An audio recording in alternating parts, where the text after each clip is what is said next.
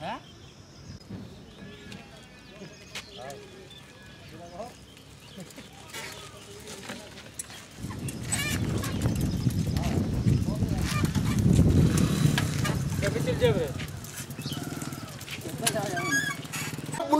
সামিল হয়েছে।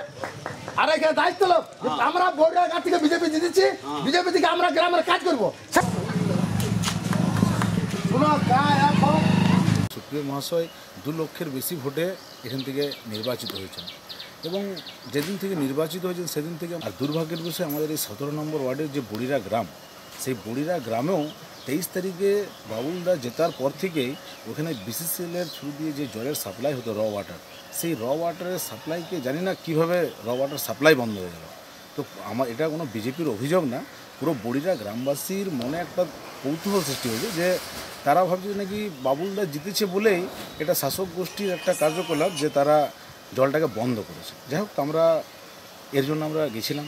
বিসিসিএলের পিও স্যারের কাছেও গেছিলাম এবং পিও স্যার তো এমন এমন কথা বললেন যে উনি কিছু জানেনই না। প্রথমে তো উনি অস্বীকার করছিলেন যে বডিতে কোনো এরকম র ওয়াটার সাপ্লাই হয় কিনা তাদের আন্ডারে যাই হোক, উনিও অনেক অনেক কথা বলেছেন যেগুলো পাবলিক্যালি বডিটার মানুষেরও জানা উচিত। হ্যাঁ, ঘটেছে বডিটাতে যেটা জল নিয়ে মানুষ সত্যি জল একটা নিত্য প্রয়োজনীয় জিনিস। আর এই গরমের দবদাহ চল্লিশ ডিগ্রি বিয়াল্লিশ ডিগ্রি তাপমাত্রায় যদি জলের সাপ্লাই বন্ধ করা হয় বিজেপি টিএমসি সিপিএম সব পরে বন্ধ। প্রথম কথা হচ্ছে আমরা আজ আসানসোলবাসী বরিরাবাসী জলের জলের জন্য যদি কষ্ট করছে আমরা সব রাজনৈতিক দলগত রাজনীতিগত সব কিছুর ঊর্ধ্বে উঠে প্রথমে বরিরার এই জলের সমস্যার সমাধান করি। আপনারা আমাদের উপর অ্যালিগেন্স লাগান আমরা আপনাদের উপর অ্যালিগেন্স লাগান এইসব পরে হবে বন্ধু।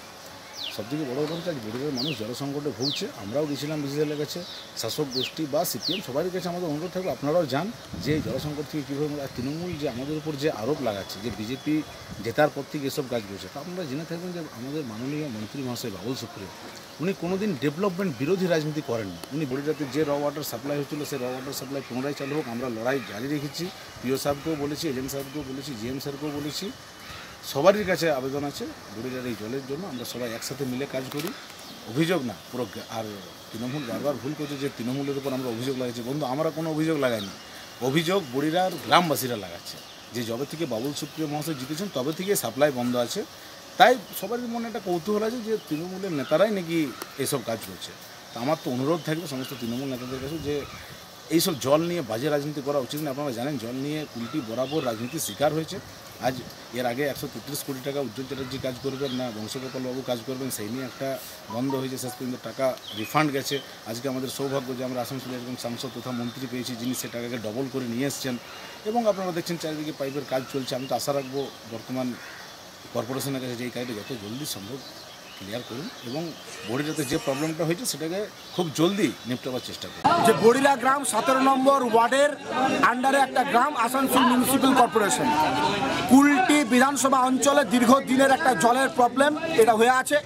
তার জন্য মানুষের কাজ করার জন্য মাননীয় মুখ্যমন্ত্রী, জননেত্রী মানুষের দোরগড়াতে অলরেডি পাইপ পৌঁছে দিয়েছে। পৌঁছে দেওয়ার পর জল দেওয়ার একটা চার মাসের মধ্যে জল দেওয়ার একটা ব্যবস্থা করেছে আমরা আসানসোল লোকসভায় প্রায় দু লক্ষ ভোটে বিজেপির কাছ থেকে পরাস্ত হয়েছি, মানুষের রায়কে আমরা মাথা পেতে নিয়েছি। আমরা মনে করছি যে আমাদের যিনি তৃণমূল কংগ্রেসের ক্যান্ডিডেট ছিলেন আমরা যারা নেতৃত্বে ছিলাম, আমরা যারা তৃণমূল কংগ্রেসের ব্যানারে লড়াই করেছিলাম, তাদের বিপক্ষে ভোট গিয়েছে এবং মানুষ আমাদেরকে পছন্দ করেনি এবং তার ভোট আমরা পেয়েছি। কিন্তু বিজেপির কিছু কার্যকর্তা যদি ভেবে থাকে যে সুশ্রুড়ি দিয়ে এই গ্রামগুলোকে অতিষ্ঠ করবে, সেই অতিষ্ঠ করার প্রবণতা তারা বন্ধ করুক কারণ আমরা কেউ চুড়ি পরে বসে নাই এখানটাতে। আমরা যেখানে রাজনীতিটা করি, আমরা সিপিএম এর সময় রাজনীতি করেছি, আমরা বিজেপির সময়ও সেন্ট্রাল গভর্নমেন্ট যখন আছে তখনও রাজনীতি করছি, আমরা আজও রাজনীতি করছি। আমার তাদের কাছে একটাই অনুরোধ, আসানসোল লোকসভা কেন্দ্র যখন দু লক্ষ ভোটে বাবুল সুপ্রিয় জেতেন, সাধারণ মানুষের দাবি নিয়ে বাবুল সুপ্রিয়কে দায়ী নিতে হবে।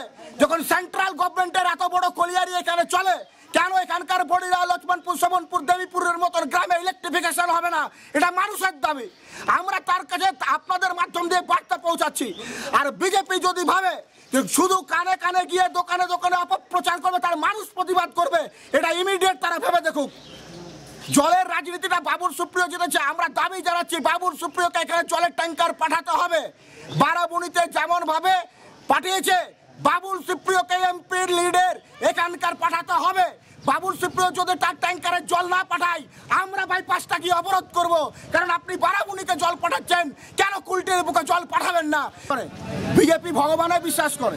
তাই তাদেরকে বলছি, যখন কোনো প্রাকৃতিক খেলা হয় জলের স্তর নেমে গেছে।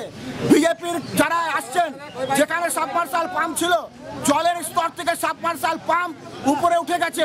আমি জানি না তেইশ তারিখে তৃণমূল হারার পর রামচন্দ্র, ভগবান শ্রী রামচন্দ্র জলের স্তরটাকে নিচে নামিয়ে দেবে, আমরা বুঝতে পারিনি। এটা তাদের খেলা। রামচন্দ্র ভগবান রামচন্দ্র জলের স্তরটাকে নিচে নামিয়ে দিয়েছে। এটা তাদের দোষ।